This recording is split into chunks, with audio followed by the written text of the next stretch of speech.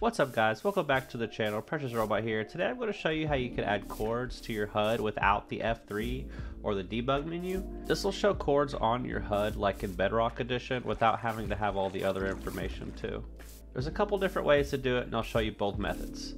This is for Java Edition, Bedrock already has this. Alright, so first things first, I'm going to show you what I'm talking about. When I flip the switch, as you can see, my coords are displayed on the screen here. It has my X, Y, and my Z.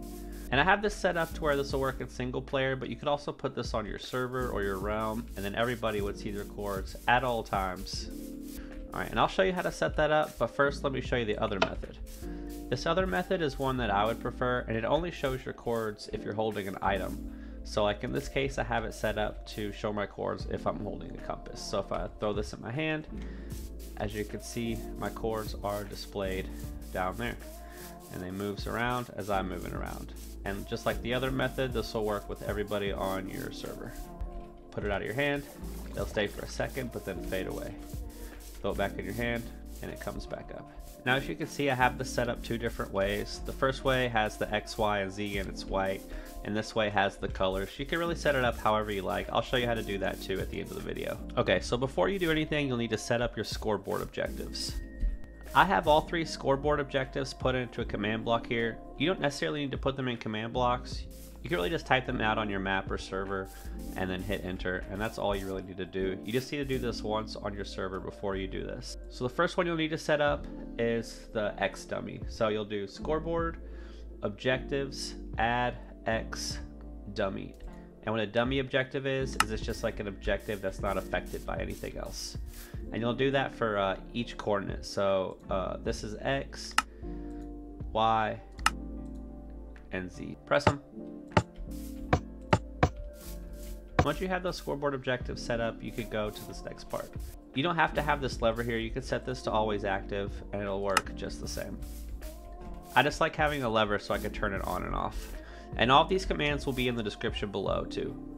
Alright, so the first thing you want to do is go in here, execute as every player in your world or server, run, execute, store, result, score, at S, X, run data get entity at S, position 0. So that's what this command does. It'll store your X position into the X objective. So what this position zero is right here is it means it's getting your X position and it's set up like zero, one, and two.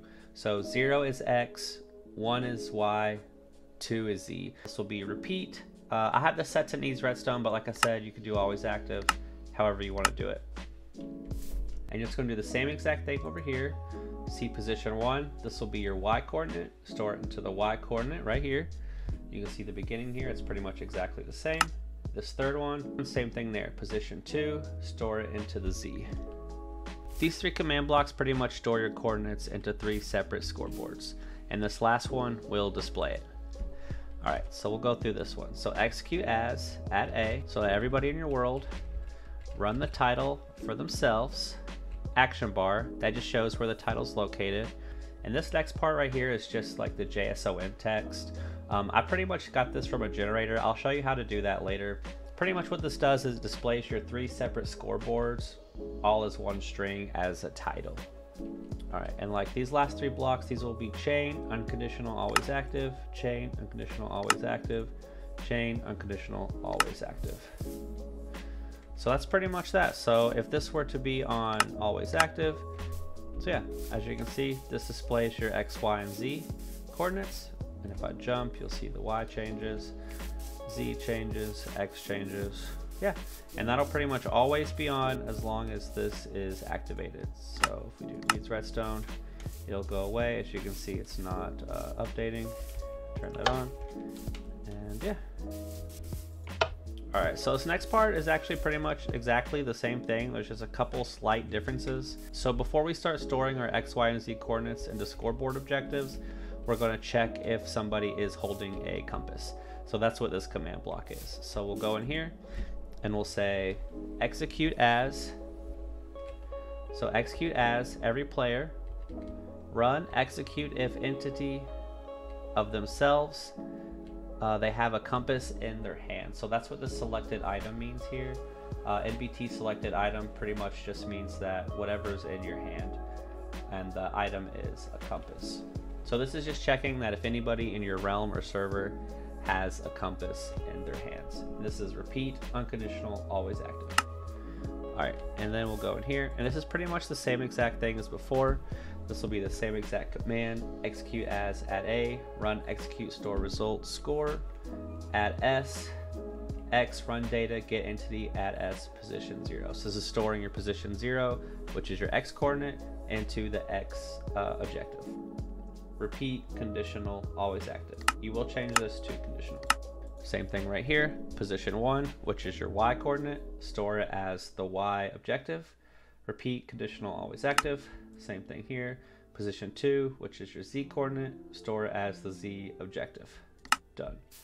And this last one is just a tad different and I'll show you how. So we go in here, uh, execute as at a run title. So instead of just running the title at yourself, we're going to add a little filter so that it only shows the title if the player has a compass in his hand.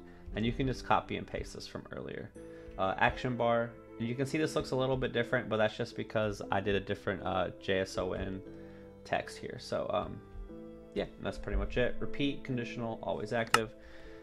And so now as you can see, if I throw this in my hand, you can see the X, Y, and Z coordinates. If you are going to implement this onto your map or server, make sure to do this at your world spawn so these will always be active. That way everybody in your uh, realm or server can uh, reap these benefits. Alright, and that's pretty much it. Now I'll show you how I did the JSON text using a generator on the web. Alright, so if you want to change how the coords display, you'll want to go to like a generator. I use uh, minecraft.tools. There'll be a link in the description, but if you go here and you scroll down to uh, title generator, I'm not sure if you can see that. There's an ad, there's some ads on here. So um, this will let you customize your title.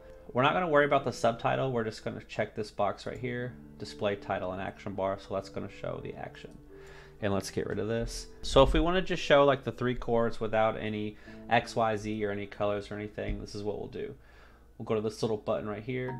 And what this does is this defines a score. So we'll do add S, objective name X, because these are the objective names that we set up previously.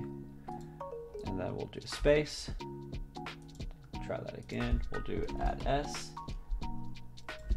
Y, okay, space last time, at S, last time, at S, Z, and it'll have something like that. And then go down here and hit generate command.